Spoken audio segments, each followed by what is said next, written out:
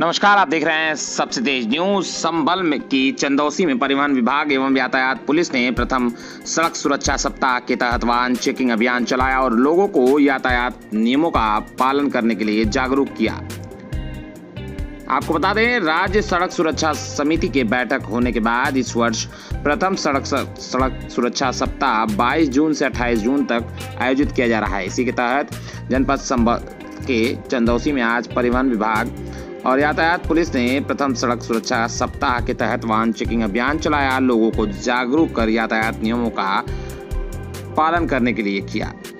ARTO संबल अमरीश कुमार ने बताया कि यह इस वर्ष का प्रथम सड़क सुरक्षा सप्ताह है क्योंकि कोरोना वायरस की वजह से लॉकडाउन लगा हुआ था।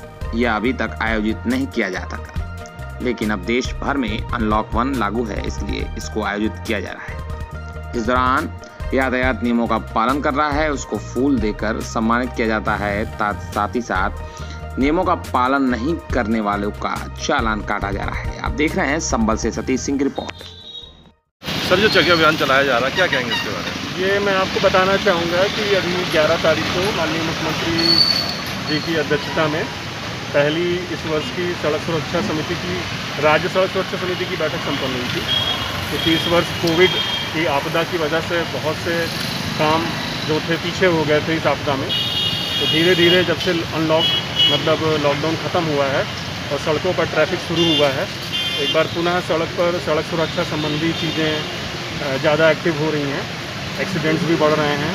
इसमें माननीय मुख्यमंत्री जी ने कहा कि चूँकि अब लोग पब्लिक खुलकर सड़क पर आ रही है, हालाँकि अभी कोविड का खतरा बना हुआ है तो ऐसे में सोशल डिस्टेंसिंग का फॉलो कर, पालन करते हुए कम से कम गैदरिंग में लोगों को मोटिवेट किया जाए कि जब एक बार अनलॉक अनलॉक हो गया है, लोग सड़क पर निकल रहे हैं तो यातायात नियमों का पालन करना करें, जिससे कि वो स्वयं भी सुरक्षित रहें और लोगों को भी सुरक्षित रखें।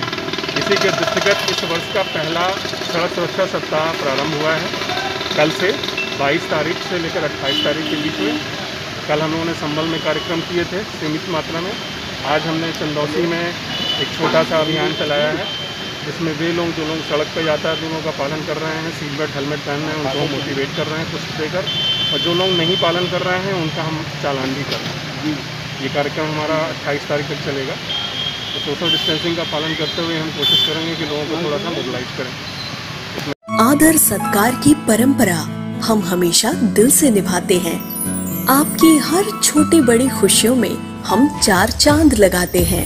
प्यार भरी भेंट और उपहारों के रूप में त्योहारों की रौनक बढ़ाते हैं। आपके सभी अनमोल रिश्तों को हम प्यार से सजाते हैं। स्वर्ण अलंकार की कला समेटे हम हैं शिवा ज्वेलर्स, घास बाज़ार, मऊ।